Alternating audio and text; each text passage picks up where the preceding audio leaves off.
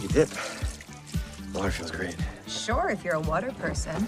I'm just here for the view. Oh, it's nice to see you smiling again. It's nice to be back on top. Uh, that's what she said.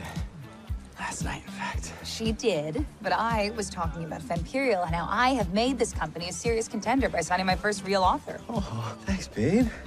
J.C. Remington. Oh, ouch. okay, well, can J.C. Remington write a sweeping romantic saga and look this good in boy shorts? I doubt it, but I can ask. I meant how her clout has the ability to turn this brand into a global empire. Even on top, she's never satisfied. Besides, aren't you still running the Atlantics for your family? Well, just until the FBI drops the charges against my dad and I sell the team back to him. We're finally in a good place. We've established our boundaries. I'm doing well in business, and he's finally trusting me over my brand new brother.